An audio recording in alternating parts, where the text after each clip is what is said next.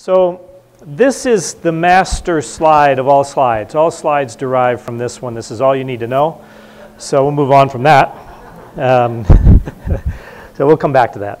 So uh, for those of you, uh, so uh, the last two weekends, uh, the CEO Mastermind Doctors uh, were with me in Phoenix.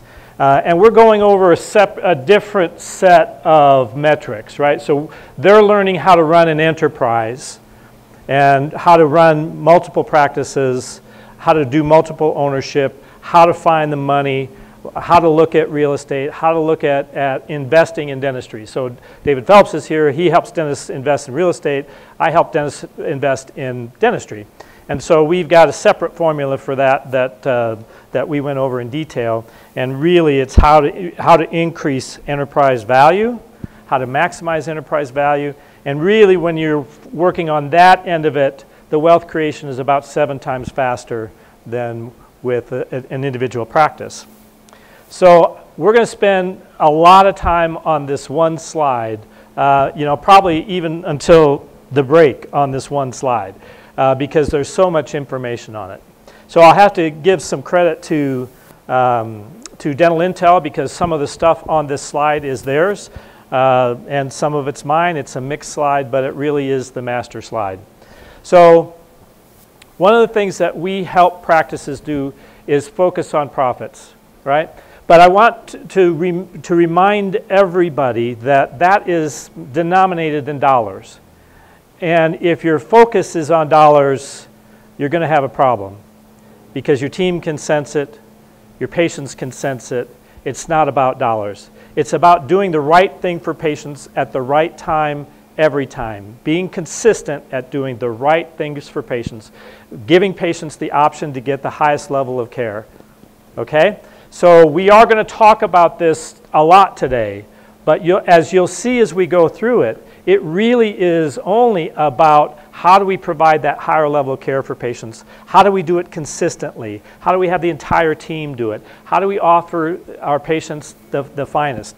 You mentioned that who knew patients would accept fluoride even though insurance didn't, right? There's a lot of things that patients will accept even though insurance doesn't cover it very well. We just need to be good at helping them understand what it is and how they would benefit from it. So this formula, which is, uh, which is from Dental Intel, uh, is visits times production per visit times collection percentage. And we're going to have some funky things because of the grill here. So, uh, but isn't this cool? I feel so cool. It's a stage, it's lights, it's wow. This is a this is a way cooler setup than I am. Um, minus overhead equals profits. Okay? Pretty simple formula, right? Five boxes, and that's really all you need to know. But how do we affect each one of those numbers? And what are the things that we should work on first? So I've made a list of the top things to improve each of those numbers. And we're going to walk through that list, uh, and then we're going to, we're going to talk a little bit on how to change it, and then we'll talk in more detail later.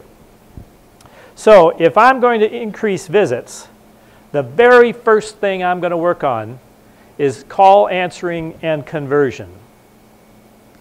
Okay, so we know that only about 60% of the incoming calls to practices get answered. We know that 100% of practices are unaware of how many calls they're losing. Right? It's universal. Nobody understands how many calls they're losing. So we think that because we don't hear the phone ringing that we're not getting calls, but maybe somebody's on the calls. Maybe all the lines are full, right? Well, they'll, set, they'll leave a message on voicemail. No, they won't. They won't. Do, we, do you leave messages on voicemail? No. When you call business? No, nobody does, right? So call answering and conversion is, is a key thing because there's so much leverage on this one item. All right? So 60% of calls don't get answered. Remember, 1 in 10 calls is a new patient. Right? So those of you who want more new patients, this is a very, very quick, easy, free way to get them is to be able to answer all your calls.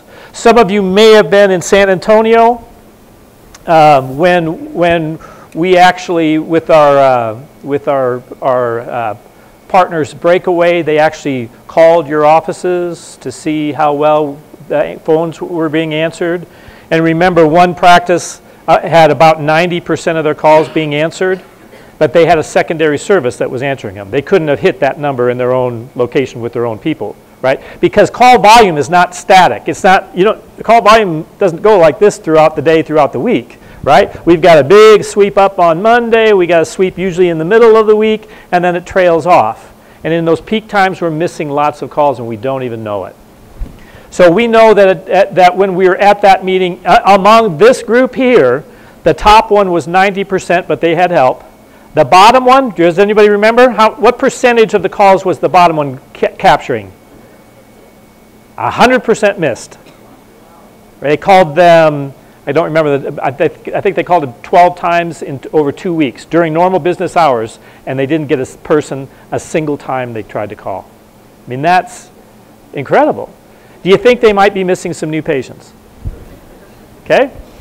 So getting the calls answered is only half the battle, right? The other half of the battle is getting them converted to an appointment. Uh, raise your hand if you regularly listen to the calls that come into your office. Okay, yeah, you guys are the ones with the shake. yeah, you get that upset stomach feeling. No, it, you really should have a mechanism, and I'll show you one way to do it. You should have a mechanism of listening to the calls uh, because uh, you'll be surprised what you hear. So, um, Heather, oh, the other dental celebrity I didn't introduce is Heather Driscoll back here. Heather Driscoll, say hi. Very good. Uh, so Heather and I uh, are partners in some practices, and we um, uh, so we we have been going through getting all of the business processes in place. We just we just acquired this January 1st, and we've been getting kind of some team things taken care of and getting some systems into place, and now we're up to phones. And so I listened to some of the phone calls, and I'll play some of them for you later, uh, in in our offices. And, uh, you know, I, I, I, knew they probably weren't great, but I was really surprised how much room we have to grow an, oppor- an, an opportunity, and probably most practices do. So the ability to convert a call to an appointment doesn't happen automatically. Okay? So data from Breakaway on practices that they listen to the calls to, data from Breakaway suggests only about a ha- half get converted to an appointment. And again, we'll listen to some, and you'll see very clearly why they didn't convert to an appointment. Although, when you're a team member and you're doing what you normally do, you're kind of in that unconscious mode, you just do what you do, and they tell you they're going to check their schedule and call back. When they tell you that, they're telling, you, they're telling you, I'm not going to come to your office, right? You blew something in that call. Um, I, on a recent interview with um, uh, John Christensen of ChrisAd. So for those of you who don't know, we have a, we have a, a podcast called the W Production Podcast um, that Wendy and I do, and, and we talk to each other about topics. We interview industry experts, and, um, and there's two companies, three companies that I know of that really understand the dental consumer, right? That spend a lot of time. Um, we're preparing some ice for you all. uh, that really understand the dental consumer. Um, and one of them is 1-800-DENTIST, right? Because they, they are a direct-to-consumer company. They have to understand the psychology of the consumer to, in order to get their phones to ring. And then if their phones ring and they don't have an impact on the success of a practice, practices will no longer pay them, right? So they, they have to understand how to connect all the dots, right? So they do a wonderful job of, of consumer research. And uh, another company that does is ChrisAd. So ChrisAd actually hires the MBA students at, the univers- uh, at Northwestern University in Chicago, and they do their consumer research. So one of the things that they identified when they, uh, so they, they listen to calls, they score call, calls, and one of the things that they noticed is if the word insurance is used in a telephone call, you have a 30% less chance of appointing that patient. 30%. So you want to increase your new patients by 30%, eliminate that word from your, from your calls. Okay? Now I can see, don't throw anything at me. I know, I know that that creates a different set of complexity, right? Because now you have to deal with all those insurance issues live with the patient right there, right? If you have the information ahead of time, well, you can gather the data and you kind of know. Now, now you're doing it live, which is definitely more challenging, but you're doing it with more patients. And those patients, how much did you pay for those extra patients?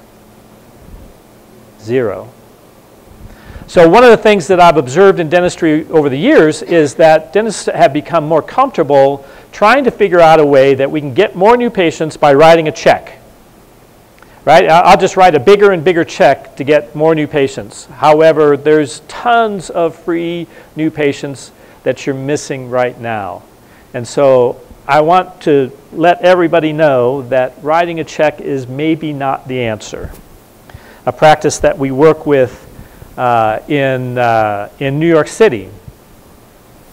Um, they, they had a very high spend on marketing, and I couldn't, and uh, they weren't tracking it very well. So first of all, we got them to track where, where they were spending their money and where they were getting their new patients. Uh, and it was really clear there was a few things that worked really well. So they cut their marketing budget in half, and their new patient numbers did not budge. Okay?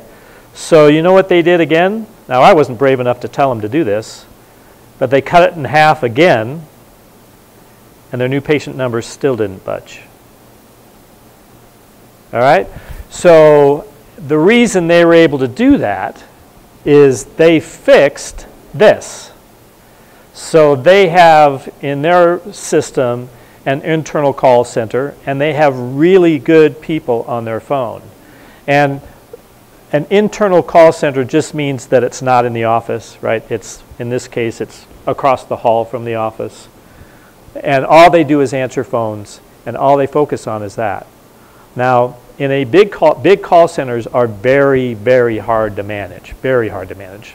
I know because our company had one, or had, the company I was with has one, and they're very, very difficult to manage because the, the, the amount of knowledge they have to have to be good is very great, yet their, the churn in that job is very high. So people don't stay in a call center job very long on average, right? And so you have a lot of churn of people, but they have to learn a lot before they're effective. And so it's a very, very tough, tough, tough, tough business. But they mastered it. They got super friendly people on the phone. They got people of all, you know, New York is a very international city, so they had people who spoke a variety of languages that were on the phone. They had people on call to answer the, to be able to help with languages that those people in the call center didn't speak, right? So they cut it in half and then they cut it in half again. So they're spending uh, uh, less than 2% of their revenue on marketing, which is super low.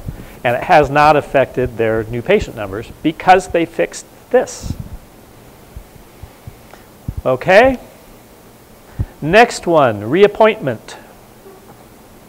We know that reappointment of patients is the, of all the numbers we can measure in dentistry, this is the most highly correlated with profitability. Reappointment.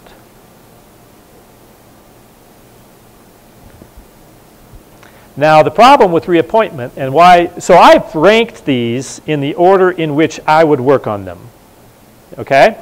So the reason why I, so this one is the, the most correlated with profitability. I mean, you increase this, profitability goes up proportionally.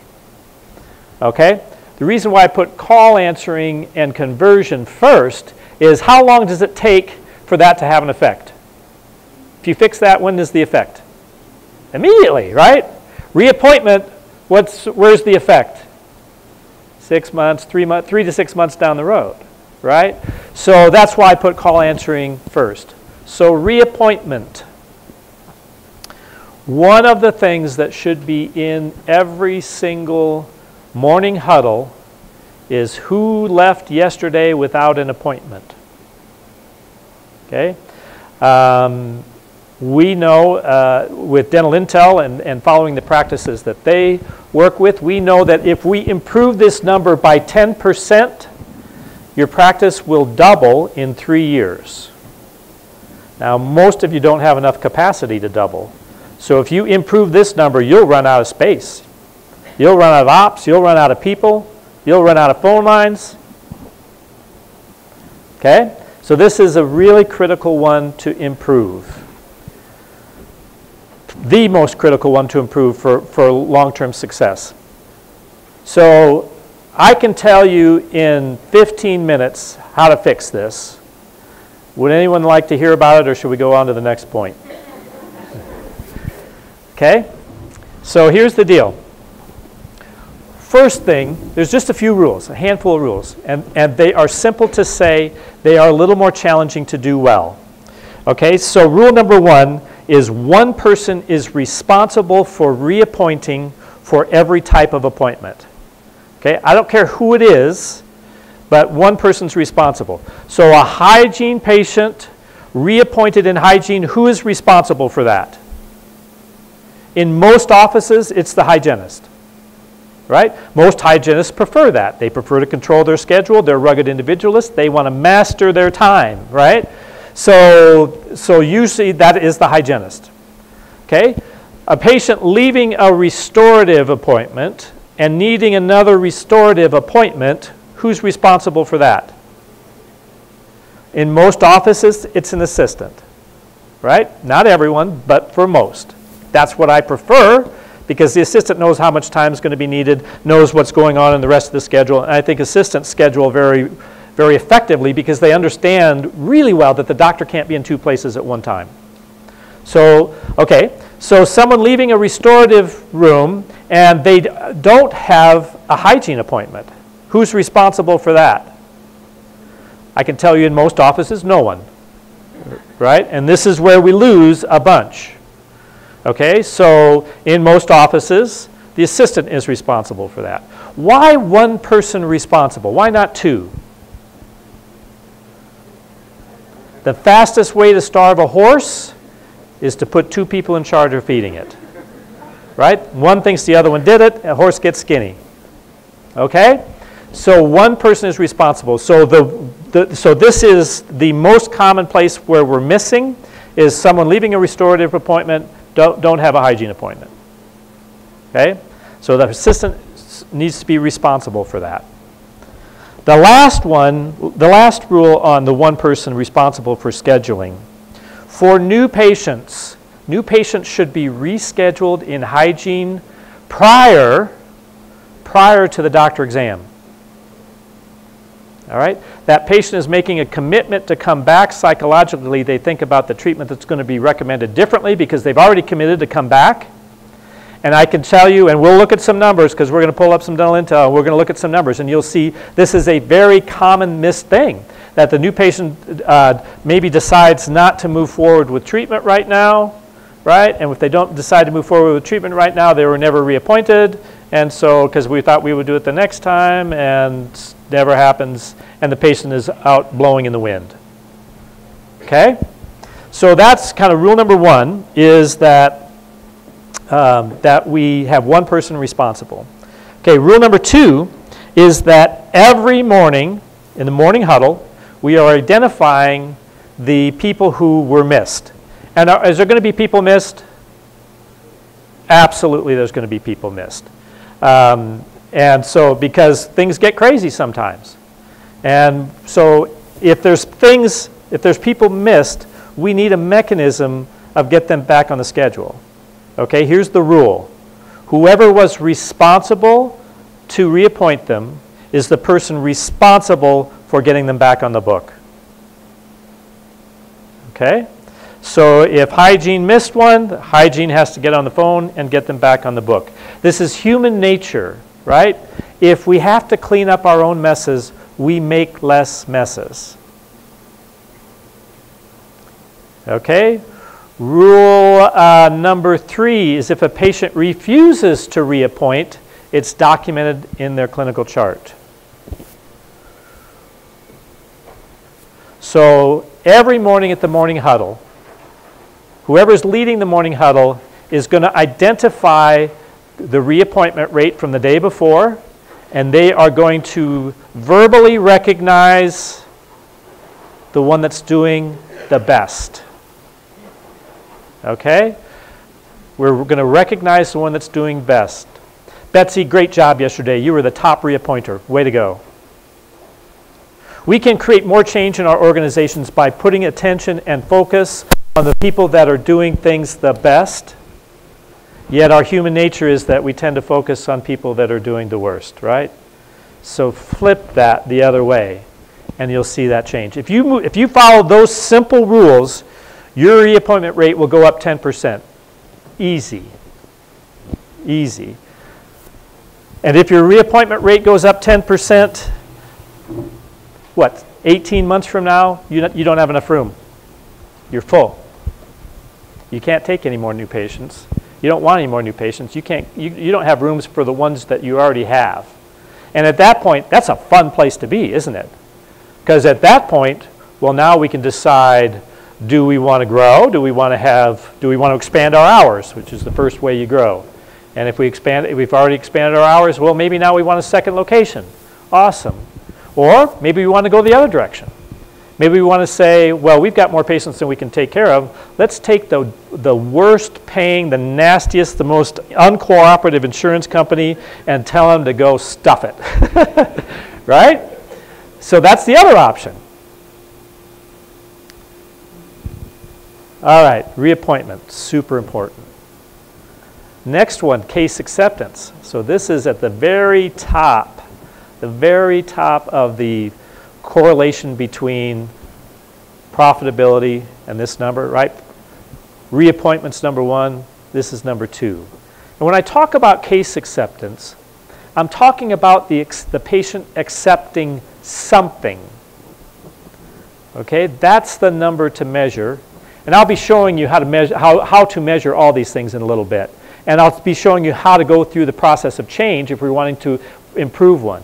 So at this point, we're just kind of laying out the numbers, and we'll, we'll talk more about the process as we go along. I did go into the reappointment process more than I will the rest, because it's so easy, and it's so, it, it, it's so critical. So case acceptance is we're getting them to improve something. Um, Next one, teamwork column. Okay, formerly known as the ghost column. Right? The ghost column has a connotation to it.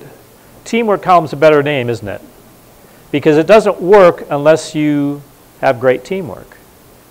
And for those of you who, who aren't familiar with the teamwork column, um, most one of the one of the number one problems that practices have is canceled and failed appointments, right? It's universal. When we poll uh, practices and say their highest concerns, um, one of them is uh, patient flow, new patient, not enough new patients. Number two is PPO th things, so they have a cash flow issue.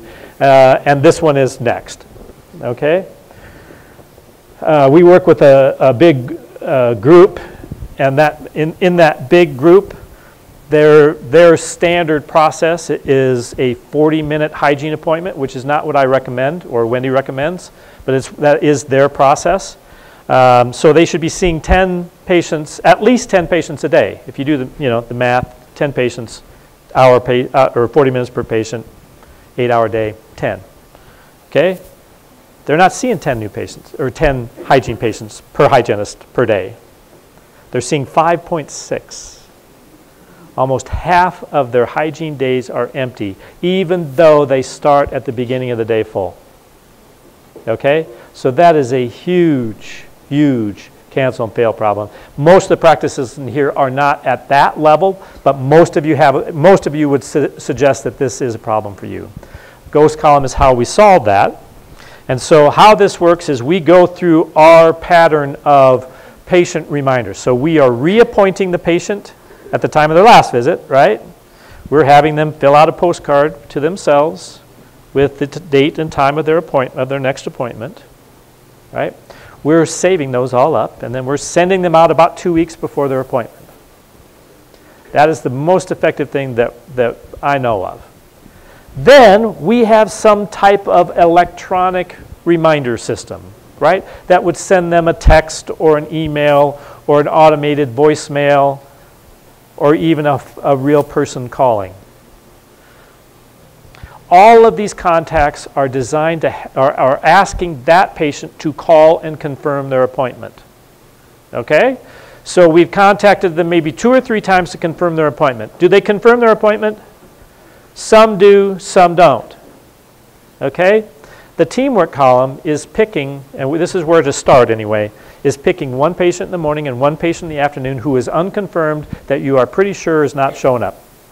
And you are moving them from a place where there is a uh, column and a hygienist, and you are moving them to a place. It's a happy place in the cloud. There is no room, there's no hygienist, it's just a happy place out there.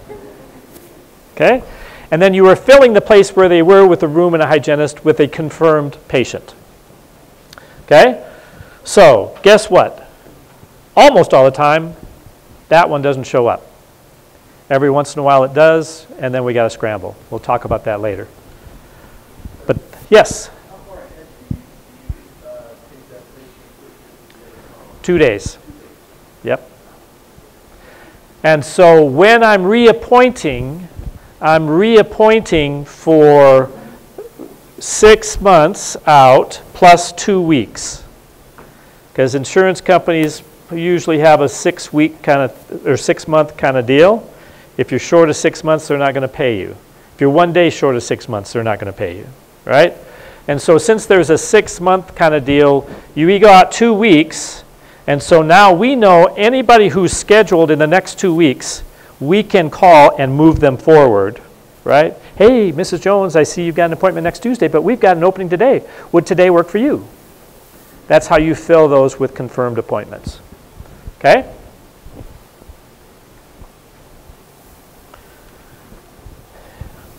Next one is reactivation. And uh, Wendy's going to talk about all the R's because she's going to be a pirate today. And the last one on my list is new patients. So when most people come to TTI for solutions to some of their practice problems, most of them will tell us that this is their number one problem, that they need more new patients. Yet when we do the analysis, we find that, that nearly all of them are having problems serving the patients they already have. Right? Are new patients easy? No, they're not easy, right? So we tell them, come 10 minutes before your appointment so you can fill out your paperwork. Do they come 10 minutes before? No, they come either half an hour before and a half hour after. They just, it, it makes no sense when they come, right? So then we've got to enter all their information in the computer. Now we got to figure out what their insurance is going to do, right? Now we have to take an in-depth health history. Now we've got to gather all the data. Now we have to build relationship. Now the doctor's got to build relationship. Takes a longer exam. Now you're doing a more comprehensive exam. Takes longer, right? And now you're doing case presentation for someone who you haven't had much time to build trust with, right? So we go through all of this work, and then only a third of them buy anything. And that's the number. Only a third of them buy anything. Yes, Ian. Correct. Yep. is that number including new patients or is that recall of It's, uh, it doesn't matter. It's both. It's both. So that number, that's, that's a dental, number, uh, dental intel number, and it's just simply measuring what was diagnosed in a hygiene chair and what was done. It, it's it's uh, agnostic as to whether it's a new patient or a hygiene patient. Okay? So, um, so these new patients are a lot of work, and not many of them buy something. All right? So it's, isn't it smarter to really focus on the ones you've already got and keeping them in? There's a practice very close to where we are right now that when we started working with them, they were getting 435 new patients a month. Should be enough, right? Okay? Big office, four docs, 16, 17 ops, so it was a big office. But still, that's a lot of new patients. And at that rate, they should be adding a hygienist every 13 days, 14 days, or something like that. And so, and were they? No, they weren't. And so they were having throughput. so they were doing all this work on this new patient, but they weren't, retaining, right? So they're getting 435 in, but they were losing 435 on the other side. And so they were spending a lot because this is an extremely competitive dental market in, in Salt Lake. This is one of the toughest cities in the entire United States. Um, and so they were paying for and doing all the work on new patients, and then they weren't retaining. So guess where their profitability was? There wasn't any, right? Even though big practice, huge top, top line, no bottom line. So new patients in most practices uh, is not going to help. Let's see if my spotlight works. Is not going to help that number much. Now, if you're severely deficient, maybe. But most of the time, profitability comes from the patients you already have. Okay, and the last one is to reduce broken appointments, and that is doing all the things that Wendy's going to talk about this afternoon. Okay, production per visit. Number one way to improve that is same day dentistry. Same day dentistry is dentistry done that wasn't on the, on the book at the beginning of the day. How many of you have had a schedule that looks at the end of the day like it did at the beginning? How many of you ever gone through a day where everything ended up in your entire career? How many of you ever had a day that, that did that, right? So Heather always says, the schedule is only a suggestion. It'll never end up that way, so don't get too tied into it. And offer patients the opportunity to do any treatment that you recommend that day. And if they want to do it that day, figure out if you can. And if you can, do. If you can't, you don't. But if you can, do. In many practices, and we'll sh I'll show you how to measure this, in many practices, this can be 30 to 40% of their production and it's just serving their current patient base at a higher level because patients love the convenience of being able to get it done today. So when you offer to do it today, case acceptance goes up. Even if you can't do it today and you offer it today, case acceptance goes up, right? Because they've committed mentally to doing it. When they say, yeah, I'll do it today, they've committed mentally. A little switch has turned in their brains, right?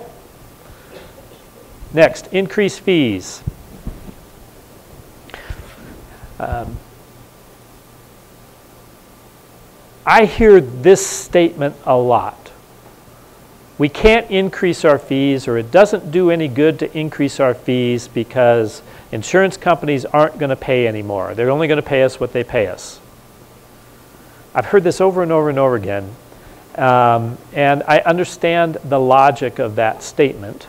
It may not affect insurance payments. You don't know that it won't, though. That's a guess. You don't know that it won't. So we worked with the practice that whose fee schedule was low, and it was low for a variety of reasons. So we work with one practice in this city and we work with another practice in this city. So we can compare and in one practice, their fees were low. and They, they had a convoluted um, compensation system, which had, which made it not wise. They're, they're paying their providers on production, not on collections. And so if they increased their fees, it made for more production, which means they had to pay more for their providers, but they weren't necessarily collecting anymore, or not, they didn't think they were going to collect anymore. So they just let their fees go stagnant for many years. Okay, so now their fees are really lower. So now they're saying, well, I don't want to raise the fees because the insurance companies aren't, but we can see what the insurance companies are paying in other practices. And they're paying more than this company is charging, but this company doesn't know it. Right? So when you say the insurance company won't pay anymore, you don't know. It's a guess. You don't know. You think your fee schedule is the same as somebody else's fee schedule. It's not. What they pay provider A is not the same as what they pay provider B. What they pay provider B isn't even, isn't even consistent from day to day, week to week. We all know that. we all go to enter the payment, and you're like, what?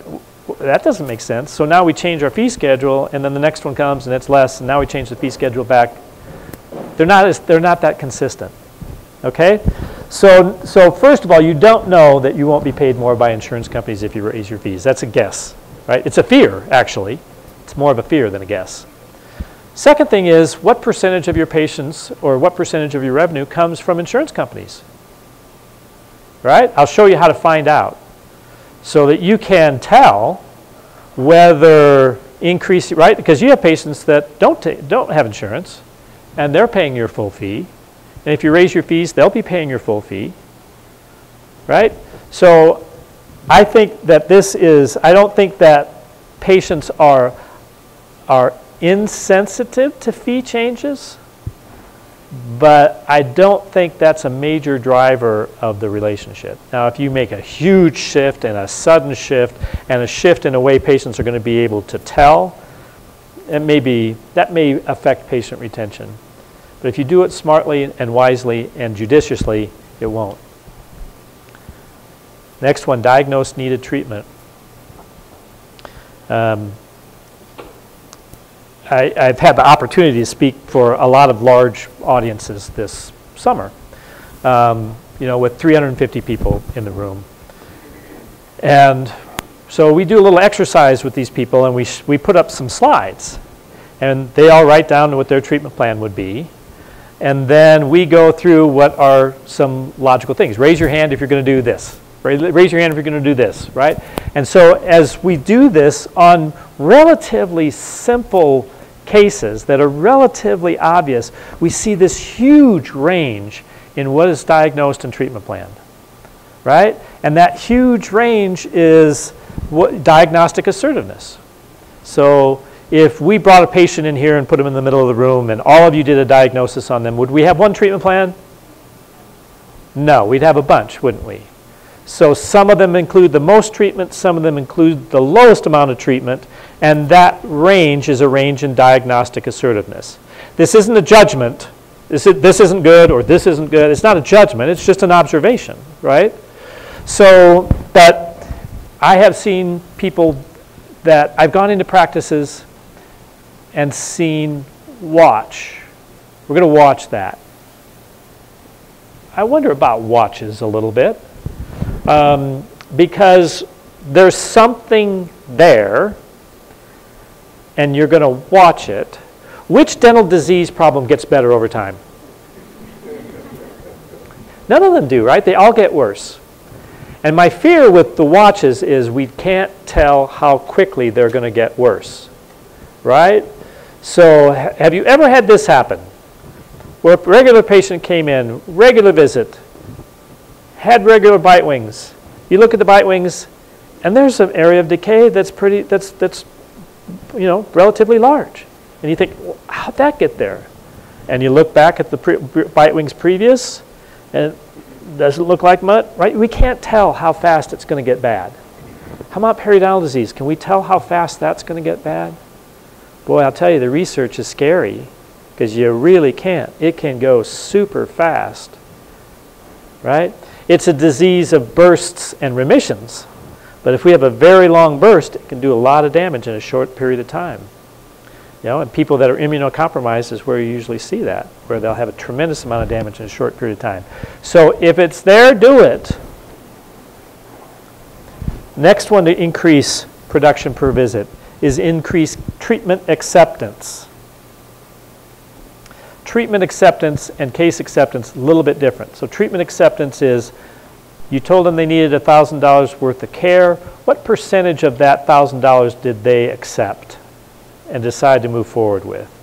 Is it $100 of that 1000 or is it 500 of that 1000? Makes a big impact on your production per visit. Next one, expand treatment procedures.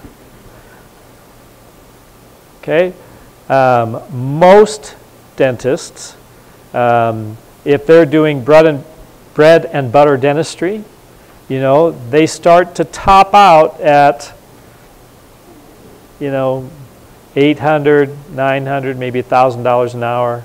But there are other procedures that are much more productive than that. right? So if you're able to do those procedures, your, pro your productivity per visit will go up, your productivity per hour will go up.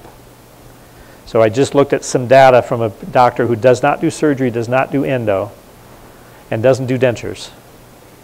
And he was $2,000 an hour, but that's very unusual. Next one, reduce PPO dependency, if that's your strategy. That will drive up production per visit. Now, it may drive down visits, though, so danger. You have to make sure that you are over demanded if you're going to use this strategy, that you've got more people that want to come in than you can see. And then you're going to do this very judiciously. You're going to take that one, the very worst one, low number of patients that have it, big pain in the ass factor, excuse my French, for the, uh, for the, from the insurance company. That's the one you're going to drop. All right? Now collection percentage. We're on the crack here of the screen, so this will be fun. Okay? Improving collection percentage. Firm financial arrangements. Patients know what their portion is going to be and they know how they're going to pay it before they make their appointment. Firm financial arrangements also affects visits. Okay? Because it affects broken appointments. Patients who make an appointment and aren't committed to pay for it, don't know what's going to pay for it, they're anxious about what's going to cost, they don't know what it's going to cost, those are patients that are more likely to break an appointment. Claims in clean. So most of you are filing claims electronically. And when you file things electronically, it goes to some electronic clearinghouse, and the clearinghouse then sends it on to the insurance company. You can manage those claims in the clearinghouse. They get stuck there if the claims aren't clean. And by clean, meaning they have all the information an insurance company may want to have for that procedure. So the claims go in clean and the clearinghouse is empty. One of the practices that we acquired had a clearinghouse that had hundreds of claims in it going back 18 months. No one was ever looking to make sure they came out of there. Next, collection percentage. Contacting insurance companies on day 15 did you get our claim? When can we expect payment? If you haven't gotten it by day 15, there may be a problem. So let's find out at day 15 rather than day 90, which is what an awful lot of practices do. They start focusing at 90 days out. That's too late to have an impact. Next one, send statements. that sounds funny, but uh, at the company that I was with before, when we'd notice that there was a collection problem in an office, we'd go and we'd check their practice management software to see when the last time they ran statements. And sometimes it had been two or three months. They just forgot. That's a biggie. All right? And the next is to have some collection process, right? So what we recommend is the day insurance company pays. If there is a balance, we're sending them a statement that day for the remainder. Once a month, they haven't had a statement during the month, they're getting another one. They're getting one. Right? We're sending three statements. At the end of three statements, we are beginning our collection process. Our collection process is designed to look as though it's coming from another company, and you actually have another company that will do this for you. One company that we worked with that we had very good results with was a company called TransUnion. So TransUnion does this. Transworld, thank you, Transworld.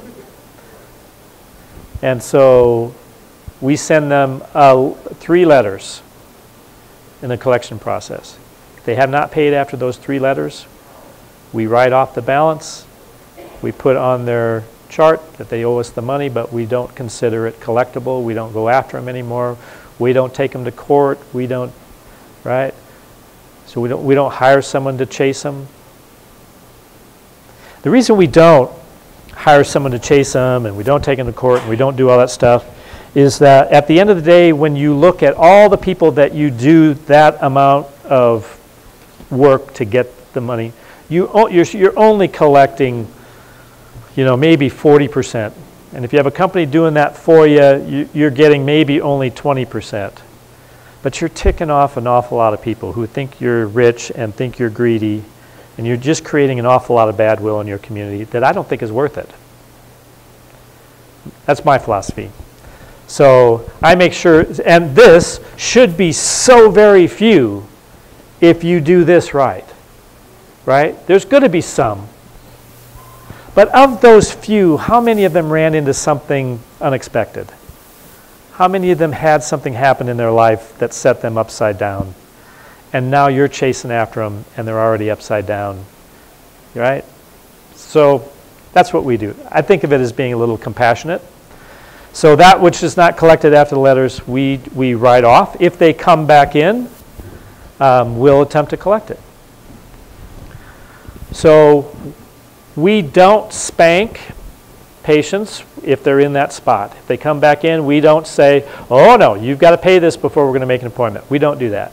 We welcome them back in, and then we make financial arrangements when they're there. Whole lot easier face to face, right? Smiling, saying, what would be comfortable to you to clear up this old, old balance? What payment would be good? Yeah, Dr. Ruda?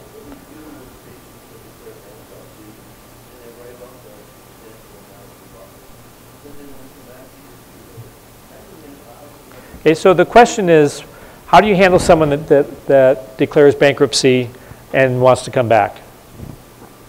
I really, I'm so excited to have you back in the practice. Thanks so much for coming back. Yep.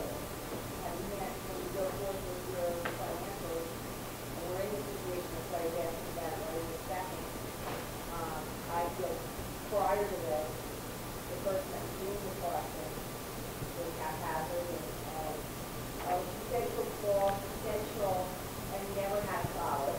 So that was part of the problem. The whole problem, so I didn't say that. So, does anybody want to go into bankruptcy? Right? Nobody wants to go into bankruptcy. They're forced into bankruptcy from circumstances. Sometimes from poor judgment, but sometimes not, right? You don't know. You don't know their situation. So I don't want to I don't want to judge them. I've known super smart people who later became super successful, wonderful people that went through a bankruptcy. There's probably people in this room that have gone through a bankruptcy. Right? So I don't judge them. And if they want to come back, I'm going to do the same thing. I'm going to make firm financial arrangements. And I'm going yep, I'm going to make firm I'm going to make the same financial arrangements with them that I would anybody else. I'm going to treat them just as if that bankruptcy didn't happen.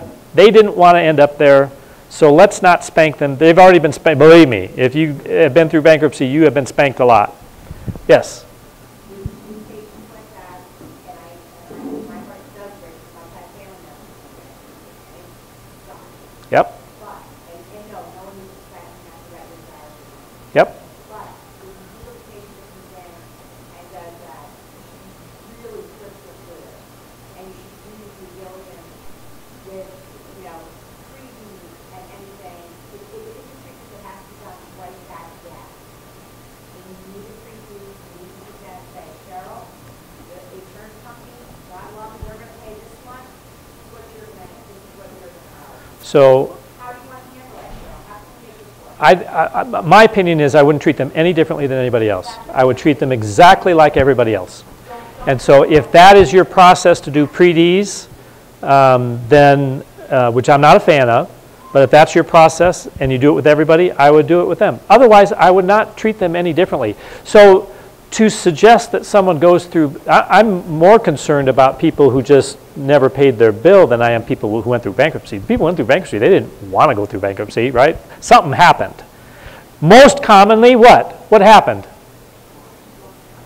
They had, they had a health problem, they lost their job, their medical bills got so high they were never ever going to be able to catch up, and it was their only option.